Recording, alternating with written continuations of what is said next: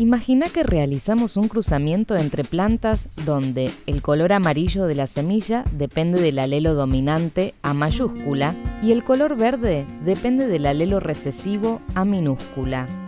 Al mismo tiempo, la textura lisa de la semilla se debe a un alelo dominante B mayúscula, mientras que la textura rugosa se debe a un alelo recesivo B minúscula.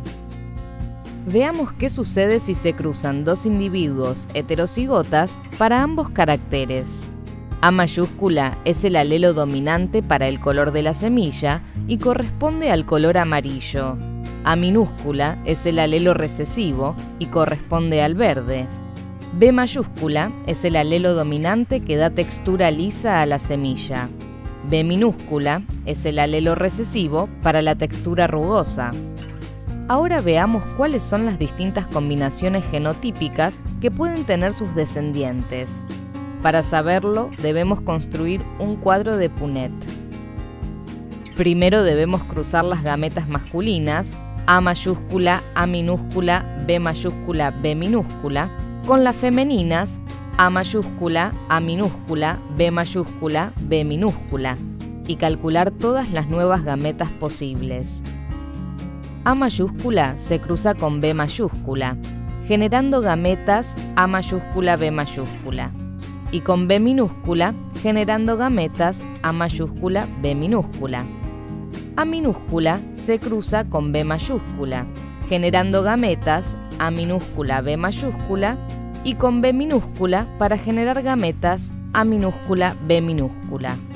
Una vez calculadas las posibles gametas, las colocamos en el cuadro de Punnett. En la primera fila ponemos entonces las posibles gametas masculinas. A mayúscula, B mayúscula, A mayúscula, B minúscula, A minúscula, B mayúscula y A minúscula, B minúscula.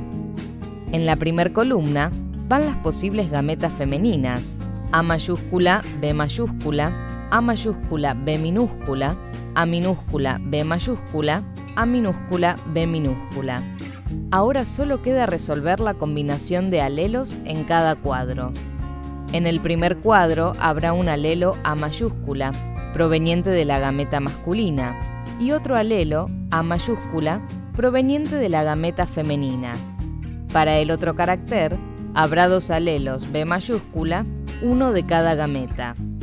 En el segundo cuadro tendremos dos alelos A mayúscula, proveniente de ambas gametas, un alelo B mayúscula de origen femenino y otro B minúscula de origen masculino. En el tercero habrá un alelo A mayúscula de origen femenino, otro A minúscula de origen masculino y dos B mayúscula provenientes de ambas gametas. Y en el cuarto tendremos un alelo A mayúscula de origen femenino, otro A minúscula de origen masculino, uno B mayúscula proveniente de la gameta femenina y otro B minúscula de la masculina. De este mismo modo, completamos el resto del cuadro. Una vez resuelto el cuadro, podremos ver los distintos genotipos que tendrán los descendientes y de esta manera determinan sus fenotipos, teniendo en cuenta qué alelos son dominantes y cuáles recesivos. 9 tendrán semillas amarillas y lisas, 3 tendrán semillas amarillas y rugosas, 3 tendrán semillas verdes y lisas, y solo uno tendrá semillas verdes y rugosas. En este caso se dice que la proporción es de 9,